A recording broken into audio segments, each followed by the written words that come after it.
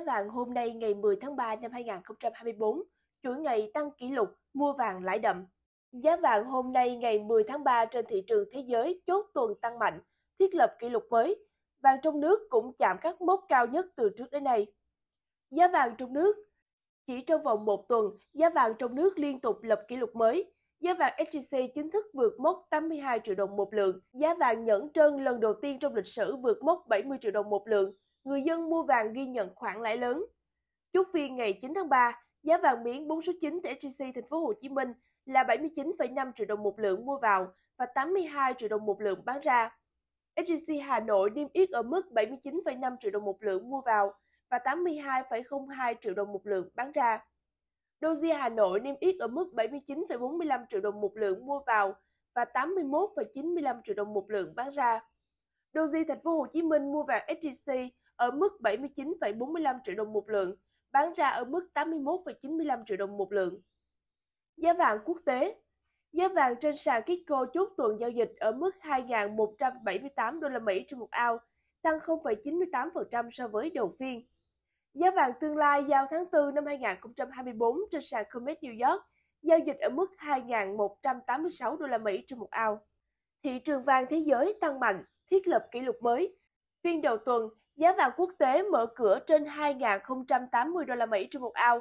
Sau đó, giá vàng tiếp tục tăng mạnh, vượt lên các mốc mới trên 2.119 đô la Mỹ trên một ao vào thứ hai và 2.135 đô la Mỹ trên một ao vào thứ ba, 2.150 đô la Mỹ trên một ao vào thứ tư, 2.162 đô la Mỹ trên một ao vào thứ năm. Phiên thứ sáu, giá vàng lập kỷ lục mới là 2.195,23 đô la Mỹ trên một ao. Tính từ đầu tuần, giá vàng thế giới đã tăng hơn 3%.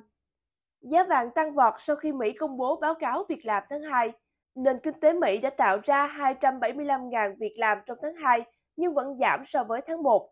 Tỷ lệ thất nghiệp tăng lên 3,9%. Số liệu này làm giảm lo ngại về lạm phát và tạo điều kiện cho Cục Dự trữ Liên bang Fed hạ lãi suất vào tháng 6.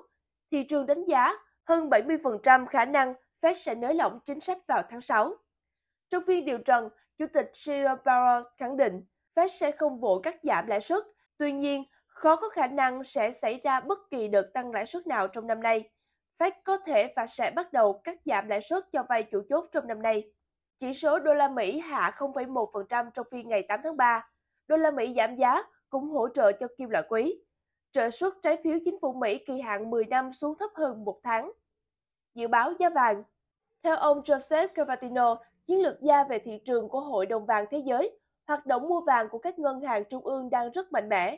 Các ngân hàng trung ương mua vàng dự trữ bởi tính an toàn, thanh khoản cao và có thể sinh lời. David Bigger, giám đốc giao dịch vàng tại Harris Filter, nhận định báo cáo việc làm gây sức ép lên đô la Mỹ và củng cố kỳ vọng phép giảm lãi suất trong năm nay. Đây đều là các yếu tố có lợi cho vàng. Naem Aslam, giám đốc đầu tư tại J Capital Markets cho biết, giá vàng có thể đạt 2.300 đô la Mỹ vào cuối năm. Mục tiêu này dễ dàng có thể xảy ra trong bối cảnh hiện nay.